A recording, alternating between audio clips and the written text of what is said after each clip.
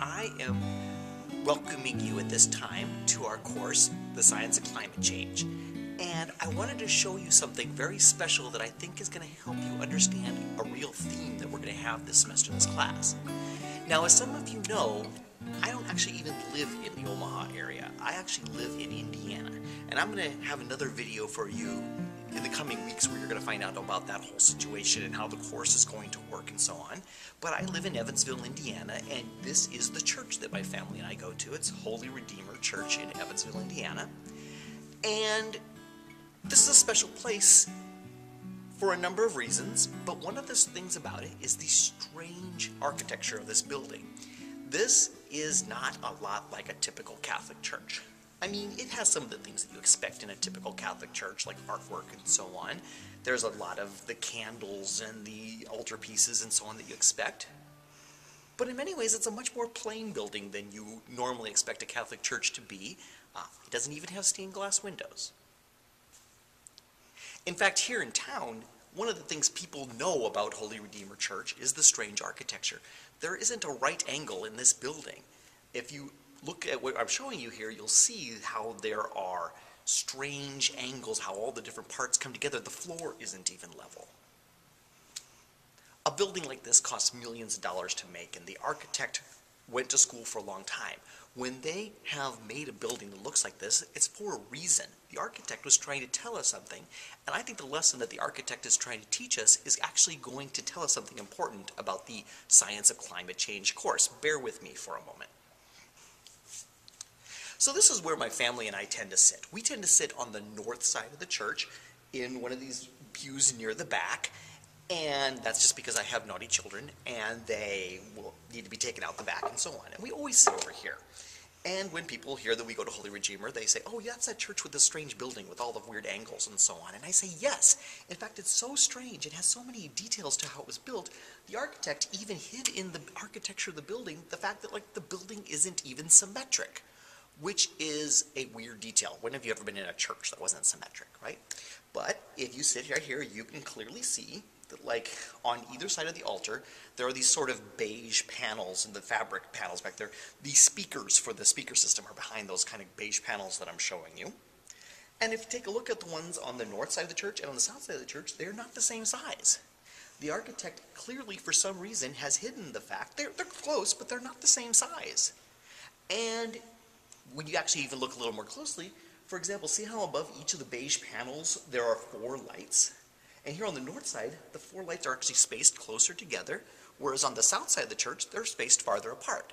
And the architect is hiding the fact that the building is not quite symmetric by hiding it within all these angles and so on.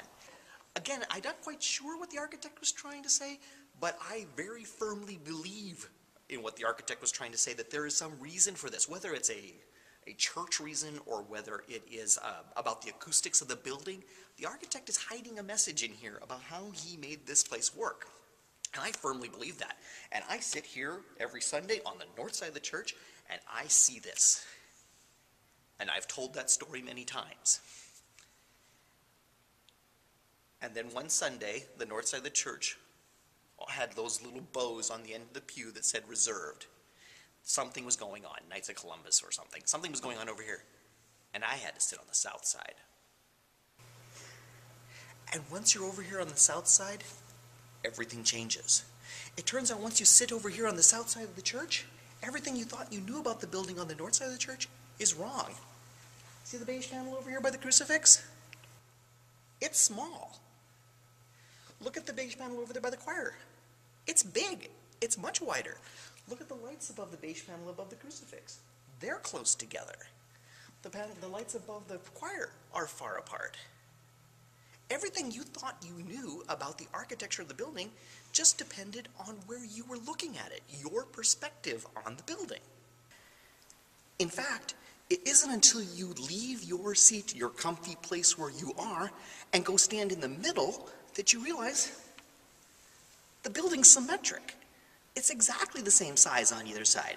It was purely about your perspective that made you think you knew what it looked like. But you don't. But there's a problem.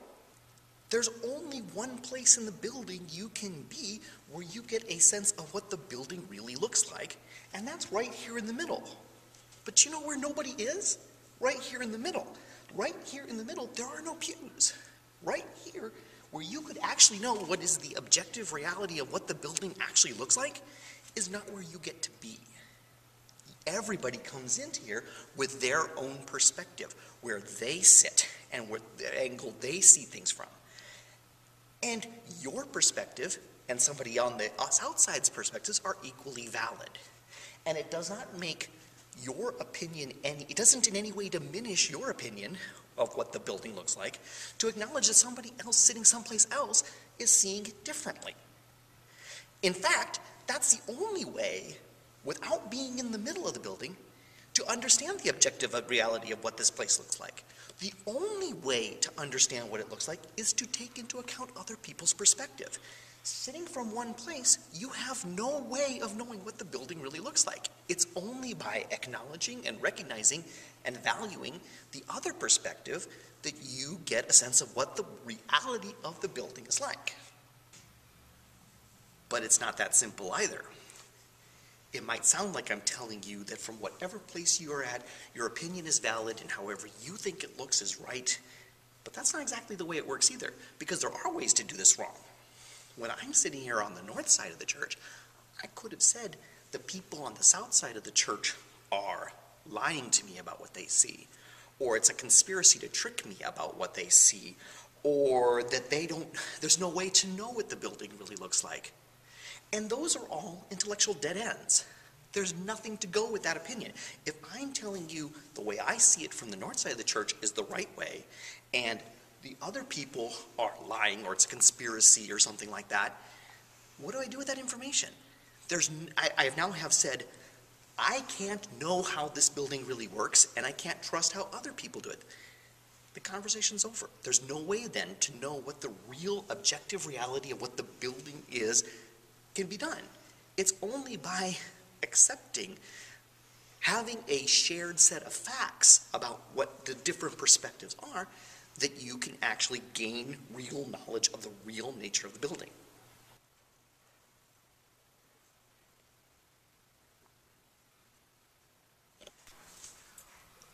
Well, the metaphor with this and climate change is a little bit heavy handed and so on.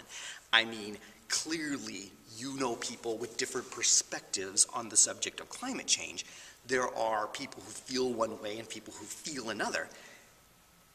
And what I'm telling you is that's both okay and not okay. It is okay to have different opinions about the nature of the problem and what we should be doing about it, as long as you're operating within a shared set of facts.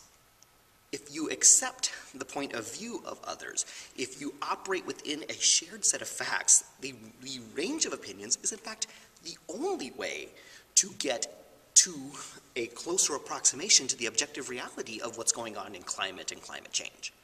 In fact, the primary way you can do it wrong is by denying that we can know, or by claiming that it's a conspiracy, or by claiming that the people on other sides are lying to you. That's an intellectual dead end. There's no place to go with that. That's the only way to do it wrong. You undoubtedly know people who bring different perspectives to the issue of climate change. I want you to start thinking as we go into the semester about where does, does their opinion fit in all of this. Are they working within a, a shared set of facts that is leading us through the diversity of opinions towards some kind of understanding of what's really going on? Or are they rejecting the notion that other people are telling them the truth, that it's some kind of conspiracy, or that there is some kind of truth that we can even know? Well, that's an intellectual dead end. There's no place to go with that. Start thinking about that as we go into the semester. This business of different perspectives and the value that each of those brings is going to be a theme in our semester. We're going to start seeing about the perspectives that different professions bring to the subject of climate change, like oceanography or meteorology or climatology or economics or politics or so on. But we're also going to be seeing how the opinions of non-experts and the rejection of the nature of understanding these kind of things kind of leads us astray into, into intellectual dead ends. All right, I wanted to give you that as a little bit of a thing to start thinking about before our semester starts. I hope that you have a wonderful Christmas break, and I look forward to our upcoming semester.